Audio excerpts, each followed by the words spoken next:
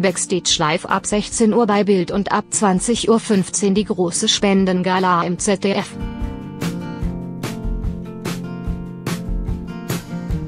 Charmant und nachgiebig, Barbara Schöneberger, hier beim Deutschen Computerspielpreis 2018, wird beim Spendenroulette den Promis tief in die Tasche greifen, und sich über jeden Euro freuen.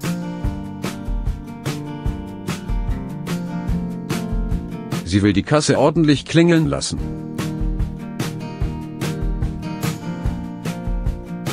TV-Liebling Barbara Schöneberger, 44, sammelt am Samstag bei der großen ZDF-Gala ein Herz für Kinder 20.15 Uhr, für den guten Zweck.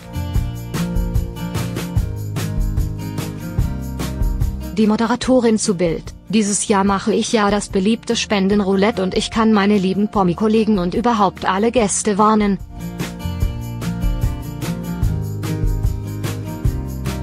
Ein Herz für Kinder ist eine Veranstaltung des Gebens und Nehmens. Wir freuen uns, wenn Sie sich schick anziehen und wir über Sie berichten können.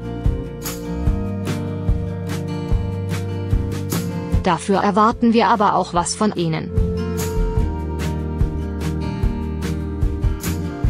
Wer glaubt, dass er sich wie bei anderen Veranstaltungen schön zurücklehnen kann, irrt.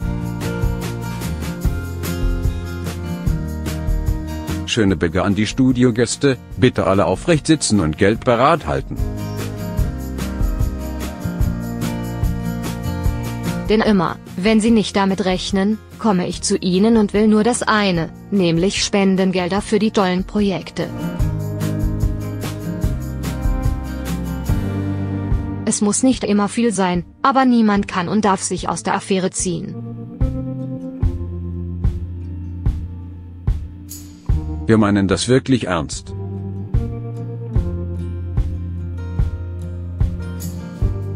Neben ihrem Spendenjob wird Schöneberger ab März 2019 auf Deutschlands Tour, auch als Sängerin auf der Bühne stehen.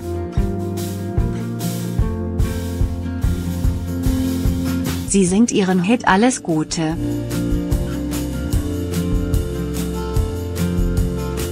Warum gerade den?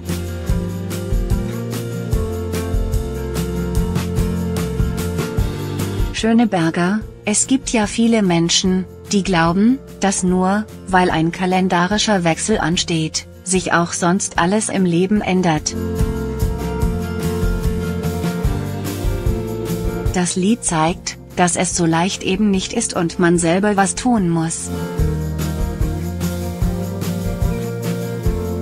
Sowie, ein Herz für Kinder aktiv etwas für Kinder in Not tut.